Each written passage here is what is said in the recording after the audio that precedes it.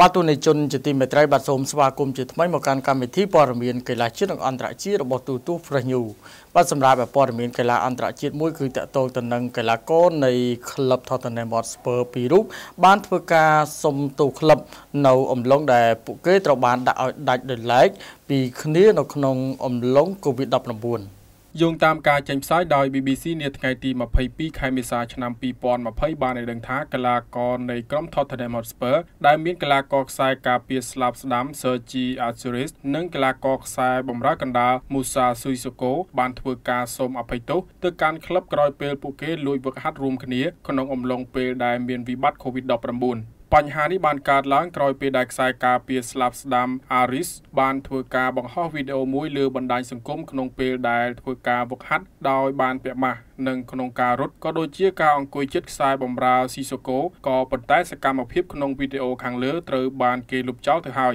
គណៈគោលការណ៍ហាមឃាត់នេះត្រូវបានរដ្ឋាភិបាលអង់គ្លេសចេញសេចក្តីប្រកាសថាការស្នាក់នៅក្នុងអំឡុងពេលនេះមានតែការធ្វើលំហាត់ប្រាណតែម្នាក់ឯងនិងជាមួយក្រុមគ្រួសារប៉ុណ្ណោះបញ្ហានេះត្រូវបានគេឃើញថាអ្នកចាត់ការទូតឆូសេម៉ូរីញ៉ូក៏មានរូបភាពវឹកហាត់រួមគ្នាជាមួយនឹងកីឡាករ Tanguy Ndombele នៅក្នុងសួនច្បារនាទីក្រុងឡុងគ្រាដែលសមាជិកក្រុមកីឡាករ Sessegnon និងកីឡាករ Davinson Sanchez ក៏ត្រូវបានគេមើលឃើញថានៅជិតគ្នាផងដែរ។